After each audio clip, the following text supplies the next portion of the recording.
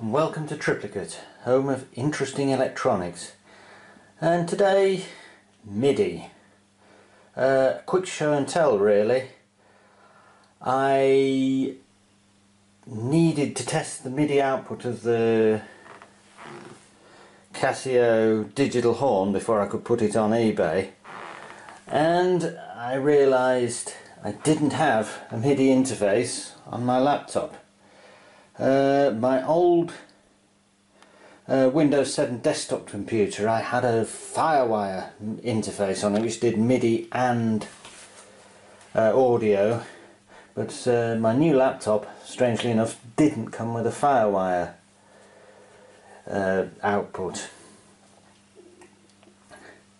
So I thought I would try and get a cheap MIDI interface and see how it worked. In the past I bought cheap MIDI interfaces and they've been terrible for latency so in the end I bought a decent interface to do MIDI and audio. So I thought I'd try this one which comes straight from China uh, unbranded, no name on it still in the bag, I haven't tried it yet uh, and see how it performs. Now normally when I'm doing music I use either that baby or that keyboard both of which go straight into the computer via USB so I don't really use MIDI at all these days. So to test a MIDI interface what we need is something that outputs some MIDI and something that inputs some MIDI. So what was supposed to be a quick video turned into an all afternoon fight to actually generate some MIDI from somewhere because that guy has a MIDI output socket. And this guy also has a MIDI output socket but I couldn't get either of them to work. So in the end I settled on the good old Casio digital horn to generate me some MIDI. Incidentally while I was trying to get things to work I built myself a little MIDI tester and that's worth having a look at. So this is just a MIDI socket, 5 pin DIN socket with two LEDs soldered across pins 4 and 5. The pins the MIDI's on. see if we can zoom in on this and still say focused. What I actually did is a bit of a cheat. I soldered two LEDs on back to back which saved me having to look up which way round the current goes uh, on MIDI. This works because a MIDI output is actually feeding into an opto isolator on the MIDI input and an opto isolator is basically a photo uh, an LED so you can use an LED to test MIDI. So I'll just show this working. Well, one day I'll figure out which way the zoom goes on this camera. So, oh yes, while we're here, this is my MIDI input. This is all I could find that works that shows MIDI input, which I can't even get in the camera frame uh, an ancient and venerable Roland U20 which will also probably be going on YouTube at some point. Okay, so trying to do things one-handed here. Yeah. So we plug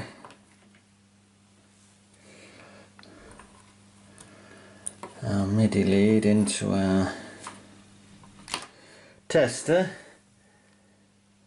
Turn on MIDI output device. I've got the volume turned down so it's not confusing the issue. You can just hear it going. And if we look at this uh, three hands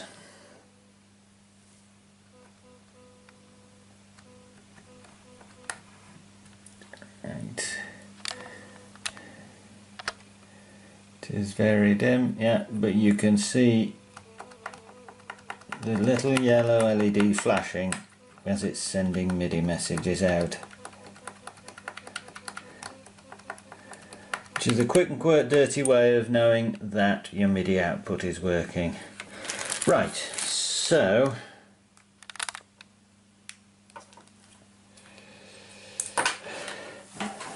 we plug this back into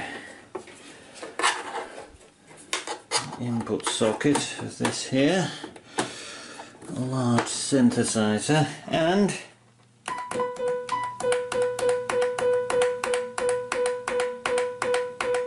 so there I am.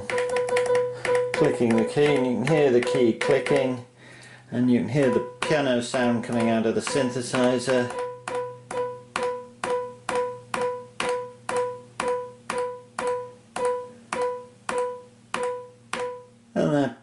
pretty pretty good so yes that's with a MIDI lead directly between the wind horn and the synthesizer okay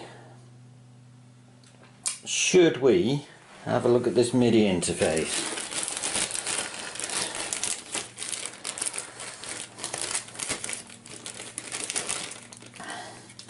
Okay, turn you off and get it out of the back. Okay, so in the back we have some instructions and the interface itself. The first thing we notice is the interface comes with plugs on it.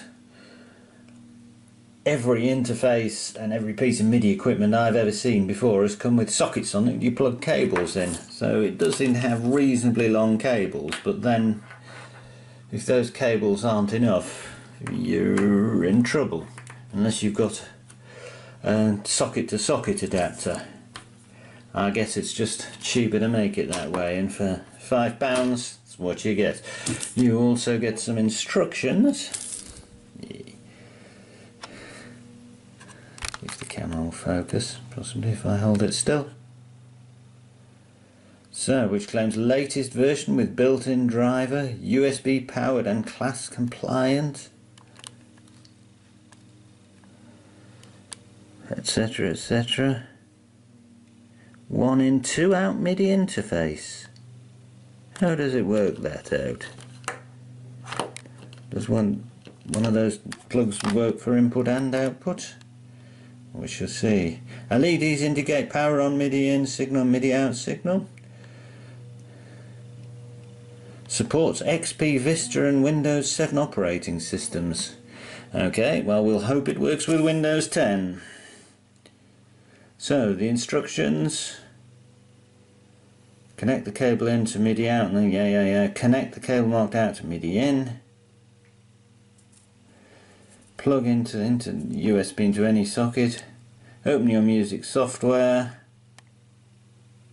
set music programs, MIDI in and MIDI out to USB audio device. Okay, now ready for use.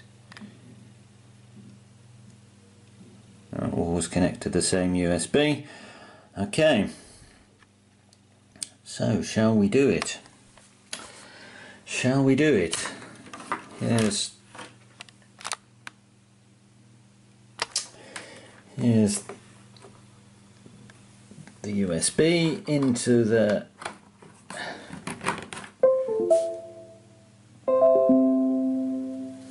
Okay. So Windows device is ready, USB to MIDI, set up and ready to go. Okay, so now I shall open up Ableton Live and see if I can see it. Right, turn the camera off while I do it because I'll need two hands probably. Okay that was fairly easy to set up. Uh, re my earlier comments about having two plugs so as you can see the two wires hang up there and the the interface hangs wherever it has to hang. So I guess for any serious use I'm going to have some way of converting those back to those things back to sockets. Um, okay so we set up Ableton Live here. So we set up MIDI in from and here it, here it is very easy to see. USB 2.0 MIDI. And similarly MIDI 2 there it is. It appears as a MIDI output device. And so does it work? And here we have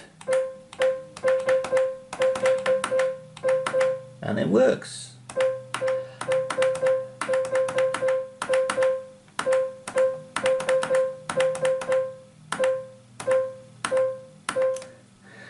the latency doesn't seem to be too bad. Um, what I might do is try and measure it. So, it's the next morning and they're taking up the road outside and something's upset Minnie who's barking. However, we'll attempt to press on with this video. Last night I was trying to measure the latency round this MIDI interface uh, just by putting the oscilloscope on the actual MIDI connections because that's going to be the most accurate way of doing it. I tried doing it using the time difference between the digital horn sounding and the keyboard sounding taken off the recordings uh, the soundtrack of the video but that didn't work terribly accurately. So as I, I was trying to do it straight off the MIDI but unfortunately MIDI is opto isolated and once I tried connecting grounds to things, I'm doing grounding this which is running off batteries to the computer ground, the USB ground, to the ground of the synthesizer and it all didn't work at all so I gave up. So this morning this morning I was back to trying to do it via audio and make better recordings of the audio and I couldn't get any MIDI through. So this was my troubleshooting. We plug the MIDI lead into the horn.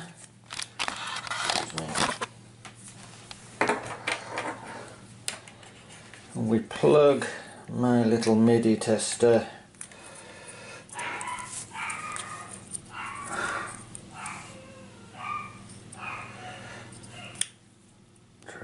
into the I'm doing in the camera into the MIDI lead. And we fire a note on the horn. Let's see if we can see that. See a very faint flicker on the yellow LED which shows the horn is outputting MIDI. Okay so that off. We plug the input that input of the MIDI interface into the horn. We play the horn and it's got input and output. I've actually for ease remembered I've got this little MIDI Ox program. This is very good just for testing and evaluating MIDI and you can see it's just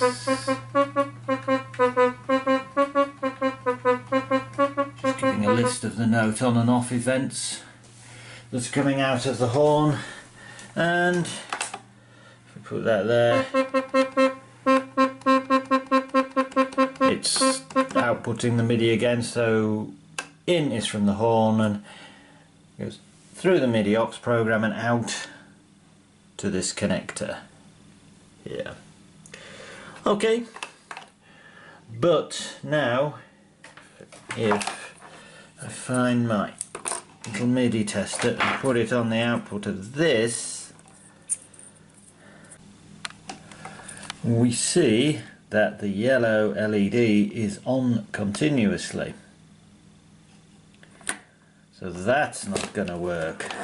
And this is still, the interface still thinks it's working perfectly, but something bad has happened to the output.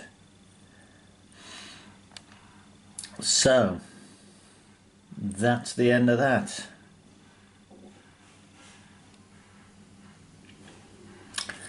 So, I don't know whether I shall get another one and try it again. Assume I killed it various bad ground connections trying to get the scope to work or whether I assume that's just not very good. And sort of on that rather sad note I think we'll leave this video so thank you for watching. Subscribe if you like the channel, um, comments if you've got any comments to leave uh, and I'll see you next time. Bye.